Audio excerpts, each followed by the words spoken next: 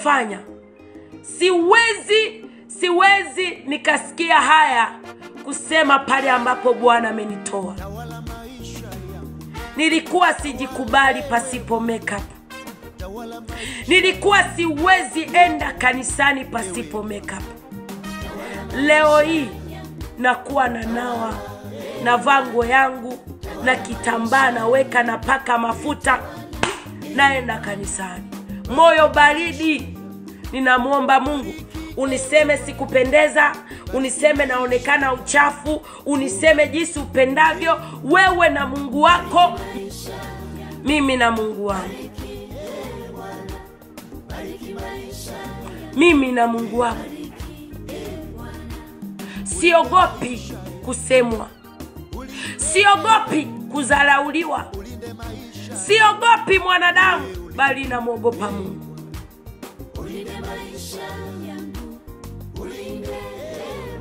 utoboe ulimi.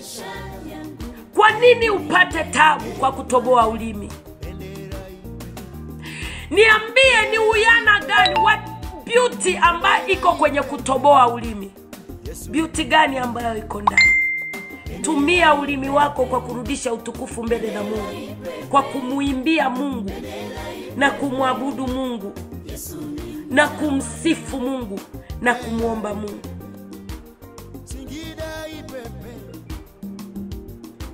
Unaweka makucha. Alafu baada ya kuoga unakuwa na nawaje kula unakuwa na kulaje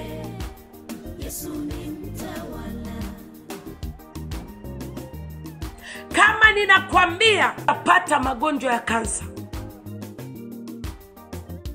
Ya kansa. Mungu ananiambia kama usipoacha kujipaka hivyo vitu utapata magonjwa ya kansa.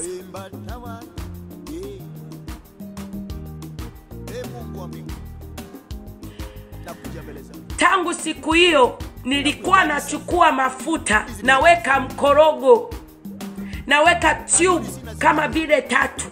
Na kuna ingine nilikuwa natumia ukiweka kwenye mafuta unasikia mwili unawaka moto. Yani ukiupaka mwili unawaka moto. Yani uko naunguza ile ile ngozi yako ya weusi. Inakuletea ngozi ya mweupe.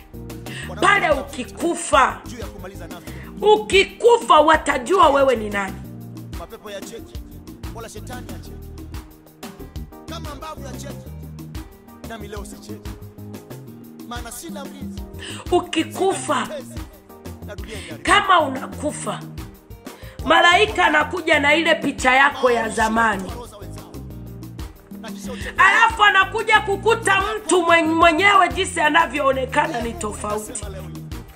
Malaika wa shetani anauliza huyu ndiye mtu unayekuja chukua kwa kuwa bwana ni mtakatifu na kuwa bwana ni mwaminifu na mwenye haki anafanya nini? Anaachia. Huwa hapen, hapendi kugombana vita na shetani. Unakufa umetoboa mahereni yako hivi. Unapata taabu kwa kutoboa ulimi